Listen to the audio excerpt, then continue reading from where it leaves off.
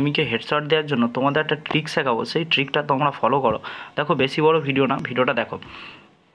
তো বন্ধুরা ফার্স্ট অ্যাটেম্পটেই তোমরা কীভাবে, তোমরা তোমাদের টার্গেটে একদম অ্যাকুরেট হেডশট নিতে পারবে। দেখো সাপোজ আমাদের আমাদের হেড হচ্ছে কিন্তু টার্গেটের হেড হচ্ছে এটা।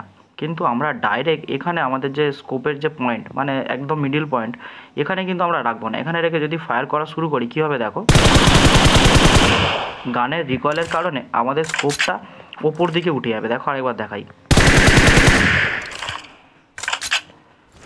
এতে করে কী হবে? তোমার ফার্স্ট অ্যাটেম্পটে হেডশট লাগবে না বাট তোমাকে যদি ফার্স্ট অ্যাটেম্পটে হেডশট মারতে হয়, তার জন্য কী করবে?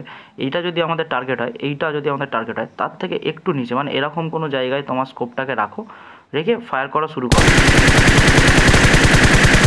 দেখো অটোমেটিক্যালি কিন্তু অ্যাডজাস্ট হয়ে যাবে গানের রিকলের কারণে। মানে এইখানটা যদি তুমি রাখো তোমার পয়েন্টটা অটোমেটিক্যালি এই জায়গাটা অ্যাডজাস্ট হয়ে যাবে। কারণ কি গানের রিকয়েল আছে, সেই রিকয়েলের কারণে, দেখো।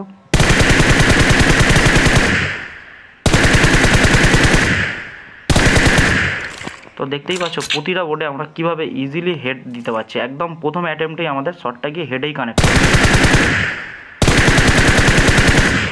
তো বন্ধুরা, এই ছিল ছোট ট্রিক আশা করছি তোমাদের ট্রিকটা ভালো লেগেছে এবং তোমরা বুঝতে পেরেছ কীভাবে তোমরা প্রথম অ্যাটেম্পটেই হেডশট দিতে পারবে। এই ট্রিকটাকে একটু ফলো করো।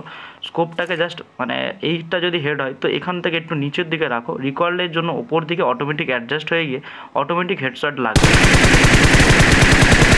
বন্ধুরা, এই ট্রিকটার মাধ্যমে তোমরা কিন্তু ইজিলি কোনো এনিমিকে প্রথম অ্যাটেম্পটেই হেডশট দিতে পারবে। তো আশা করছি ভিডিওটা তোমাদের ভালো লেগেছে এবং তোমরা বুঝতে পেরেছ কীভাবে তোমরা ইজিলি হেডশট কানেক্ট করতে পারবে। তো আই ভিডিওটা ভালো লাগে অবশ্যই লাইক করে দিও এবং এখনও পর্যন্ত যদি না আমাদের চ্যানেলকে সাবস্ক্রাইব করে থাকো সাবস্ক্রাইব করে দিও কারণ আমরা এই ধরনের হেল্পফুল এবং ইন্টারেস্টিং ভিডিও আমাদের চ্যানেলে আপলোড করে থাকি। তো দেখা হবে নতুন কোনো ভিডিওতে।